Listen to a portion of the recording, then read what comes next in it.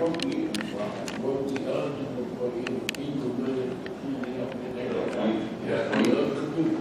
anticipate we're going to get reimbursement for what we spent, but there's nothing they give you in advance, they don't give you any resources. We're able to, we've been tracking, and Chuck has been a number of meetings with FEMA and Gene Lamar. So essentially, when this is over, uh, we hope to get back the majority of what we spent. Can't get back normal time, but you can get back overtime or equipment that you have to rent. So Chuck, you got sort of what we're looking at? We're up to three hundred, four hundred thousand dollars in, in in additional costs?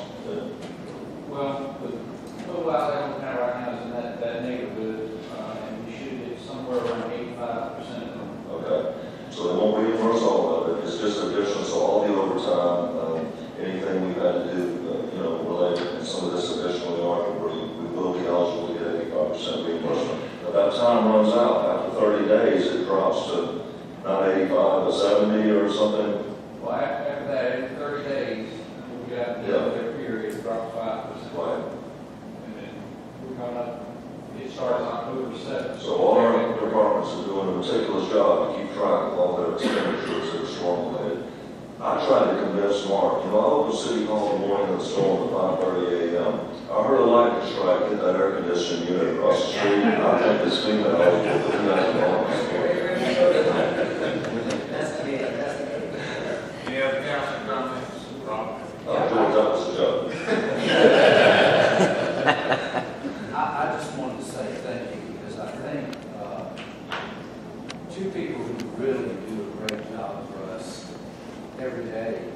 Uh, One was recognized tonight, but Shirley Teresa, made a fantastic job. Does really to keep us together, especially me. Um, And I want to thank them, they do a lot, they work hard, they're here all the time, well after hours, and I do appreciate what they're doing. Also, positive, my yard waste was picked up Tuesday night the council meeting late that night. Uh, woke my wife up, I didn't hear a thing. Uh, and, but, uh, thank you, patience is what it's taking, and, uh, even though they left a snake behind, it was all right. It was friendly. So, but, uh, uh, I think it's well worth it. Any other comments? We're gonna let that slide, that's for the record. We're gonna let that slide. But it, it is slide, you know, it's, right. Are there any other comments?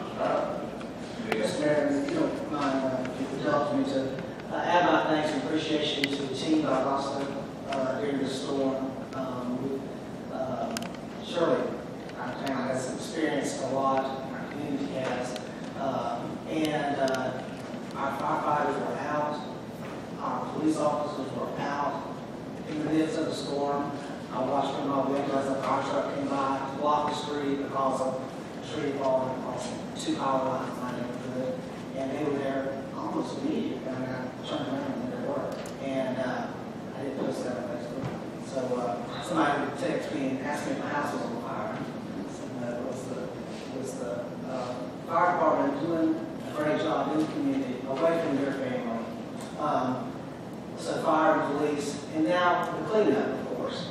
Um, the other night, my wife and I left church on Sunday night, and we decided to go and grab a little bite to eat afterwards, and a claw truck came by, and a squad car came by, and I thought, you got to be kidding me, it's seven twenty at night on Sunday.